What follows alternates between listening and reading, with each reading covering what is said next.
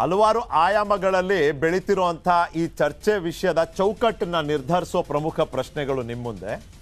ಮೊದಲಿಗೆ ಹೇಳಿಕೆ ನೀಡೋದು ಯಾಕೆ? ನಂತರ ಸಮಜಾಯಿಷಿ ಸಮರ್ಥನೆ ಯಾಕೆ? ಸಿಂಪಲ್.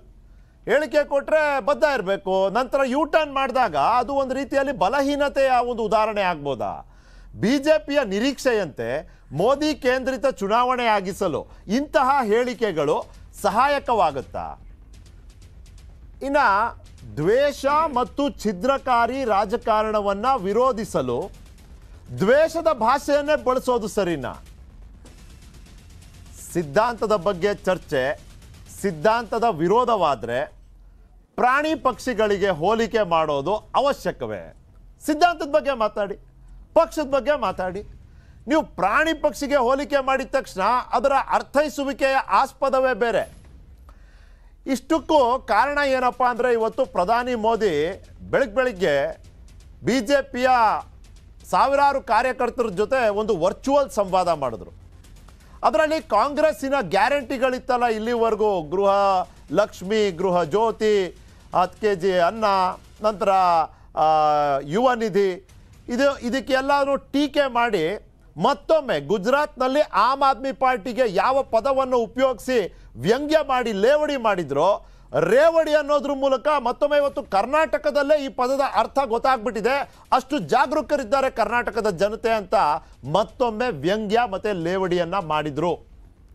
ಸಹಜವಾಗಿ ತಮ್ಮ ಚುನಾವಣೆಯ ಅಸ್ತ್ರವಾಗಿ ಉಪಯೋಗಿಸ್ಬೇಕು ಅಂತ ಇರುವಂತಹ ಕಾಂಗ್ರೆಸ್ ಆ ಗ್ಯಾರಂಟಿಗಳ ಬಗ್ಗೆ ವ್ಯಂಗ್ಯವನ್ನು ತಡಿಲಾರದೆ ಈ ಒಂದು ಹೇಳಿಕೆಯನ್ನು ಕೊಟ್ರ ಅನ್ನೋ ಪ್ರಶ್ನೆ ನಮ್ಮ ಮುಂದೆ ಅಷ್ಟಕ್ಕೂ ಪ್ರಧಾನಿ ಮೋದಿ ಹೇಳಿದ್ದೇನು ಅದಕ್ಕೆ ಡಿ ಕೆ ಶಿವಕುಮಾರ್ ಅವ್ರು ಕೌಂಟರ್ ಕೊಟ್ಟರು ಅವರಾದರೂ ಏನು ಹೇಳಿದ್ರು ಹದಿನೈದು ಲಕ್ಷ ಕೊಡ್ತೀನಿ ಅಂದ್ರೆ ಎಲ್ಲಿ ಕೊಟ್ರಿ ಅಂದರು ಅಲ್ಲಿ ವೈಯಕ್ತಿಕ ಹೇಳಿಕೆ ಅಥವಾ ಹೋಲಿಕೆ ಆಗಲಿಲ್ಲ ನಂತರ ಮಲ್ಲಿಕಾರ್ಜುನ್ ಖರ್ಗೆ ಅವರ ಹೇಳಿಕೆ ಹೊರಗೆ ಬಂತು ಕೇಳಿ कांग्रेस मतलब झूठ की गारंटी कांग्रेस मतलब भ्रष्टाचार की गारंटी कांग्रेस अब उस स्थिति में है, जब वो ना कोई सच्ची गारंटी दे सकती है, और आपको तो मालूम है मेरे नौजवान दोस्तों, कांग्रेस की वारंटी तो बहुत पहले ही एक्सपायर हो चुकी है। जिसकी वारंटी एक्सपायर हो चुकी है, उसकी गारंटी का मतलब क्या है जी? प्रधानमंत्री ಬಹುಶಃ ಬಿಜೆಪಿ ಗ್ಯಾರಂಟಿ ಗೊತ್ತಿಲ್ಲ ಅಂತ.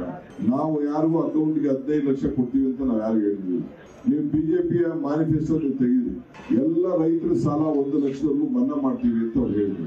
ಇವತ್ತು ಪ್ರಧಾನಮಂತ್ರಿ ಅವರು ನಮ್ಮ ಗ್ಯಾರಂಟಿ ಬಗ್ಗೆ ಮಾತಾಡ್ತಾ ಇದ್ದಾರೆ ಅಂತ ಹೇಳಿದ್ರೆ ನನಗೆ ಬಹಳ ಸಂತೋಷ ಆಗ್ತದೆ. ಅವರು ಅವ್ರಿಗೆ ಮನಸ್ಸಿಗೆ ನಾವು ನಮ್ಮ ಜನರ ವಿಶ್ವಾಸ ತೆಗೆದುಕೊಳ್ಳಿಕ್ಕೆ ವಿಫಲ ಆಗಿದ್ದೇವೆ.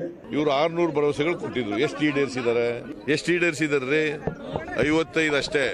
ನಾಟಿ one ten percent. Warranty warranty warranty ಮುಗಿದಿರೋದು ಅವ್ರಿಗೆ. ಮೋದಿ ಅಂದ್ರೆ ಈ ವಿಷದ ಹಾವಿದ್ದಂಗೆ. ನೀವಂದ್ರೆ ಏ ಇದು ವಿಷ ಅದ ಇಲ್ಲ ನೋಡೋಣ ಸ್ವಲ್ಪ ನೆಕ್ ನೋಡೋಣ ಅಂತ ನೆಕ್ಕಕ್ ಹೋಗಿರಿ. ನೆಕ್ಕರು ಸತ್ತ. ಇಲ್ಲ, ಇದು ವಿಷ ಅದಾನೋ ಎಲ್ಲೋ ಮೋದಿ ಕೊಟ್ಟಣ ಒಳ್ಳೆ ಮನುಷ್ಯನ ಪ್ರಧಾನ ಮಂತ್ರಿ ನಾವು ಸ್ವಲ್ಪ ನೋಡೋಣ, ನೆಕ್ ನೋಡೋಣ ಅಂತ ಹೇಳಿ ಆ ವಿಷಯವನ್ನ ನೆಕ್ ನೋಡಿದ್ರೆ ನೀವು ಮಲಗೇ ಬಿಡ್ತೀರಲ್ಲಿ ಭಾರತೀಯ ಜನತಾ ಪಾರ್ಟಿ ಅದು ಒಂದೇನಪ್ಪ ಅಂತಂದ್ರೆ ಹಾವು ಇದ್ದಂಗೆ ಅದಕ್ಕೆ ನೀವು ಹಿಂಗ ಸ್ವಲ್ಪ ಏನು ಹೇಳ್ದೆ ನೆಕ್ ನೋಡ್ತೀನಿ ಅಂತಂದ್ರೆ ಅಲ್ಟಿಮೇಟ್ಲಿ ಅದು ಡೆತ್ ಅಪ್ಪ ಅಂತ ಹೇಳಿದ್ರು ಅವ್ರಿಗೆ ಹೇಳಿಲ್ಲ. ಅವ್ರಿಗೆ ಹೇಳಿಲ್ಲ ಯಾಕೆ? ಖರ್ಗೆ ಅವ್ರಿಗೆ ಯಾಕೆ ಹಂಗೆ ಅನಿಸ್ತದೆ ಗೊತ್ತಿಲ್ಲ. ಒಬ್ಬ ಪ್ರಧಾನಮಂತ್ರಿಗಳಿಗೆ ಈ ಥರ ಮಾತನಾಡೋದು ಎಷ್ಟರ ಮಟ್ಟಕ್ಕೆ ಸರಿ? ಹಿಂದೆ ಹಿಂಗೆಲ್ಲ ಮಾತಾಡಿನೇ ಕಾಂಗ್ರೆಸ್ ಈ ಮಟ್ಟಕ್ಕೆ ಬಂದಿದೆ. ಕಾಂಗ್ರೆಸ್ಸಿಗರಿಗೆ ಇನ್ನೂ ಅಧಿಕಾರದ ಅಮಲು ಉಳಿದಿಲ್ಲ ಅಧಿಕಾರದ ಅಮಲಿನಲ್ಲಿ ಹಿಂದಿನ ಅಧಿಕಾರದ ಅಮಲಿನಲ್ಲಿ ಇನ್ನೂ ಮಾತಾಡ್ತಾ ಇದ್ದಾರೆ ಇನ್ನು ಮುಂದೆ ಬರುವಂಥ ಪ್ರಶ್ನೆನೇ ಇಲ್ಲ.